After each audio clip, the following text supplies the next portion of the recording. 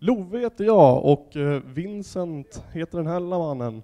Eh, vi ska tillsammans arrangera Himmelens folk nu i sommar. Eh, mycket för att vi satt och läste en väldigt bra bokserie som inspirerade oss till det här och insåg att det finns väldigt få kampanjer med ja, österländska kulturer och då särskilt den mongolska kulturen som vi tycker är helt fantastisk.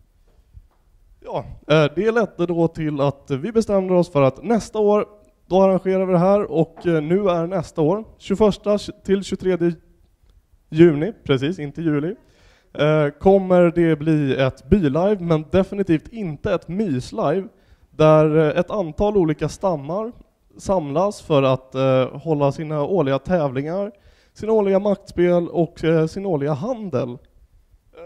Vilket självklart innebär en hel del blodsoffer och schamaner med en himla massa pyroteknik, eh, vilket vi tycker är ganska trevligt på sådana här tillställningar. Eh, ni kommer vänta er ett live och ni kommer kunna spela tre koncept. För det första då är kanen, som är ledaren för hela stammen. Det är allsmäktig ledare. Tänk Frankrikes kung på 1700-talet. Det, det är all makt som finns.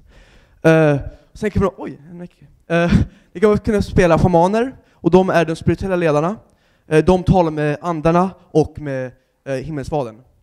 Ni kommer också spela kanens blodsbundna, som är som livvakter, och eh, som en syskon i princip.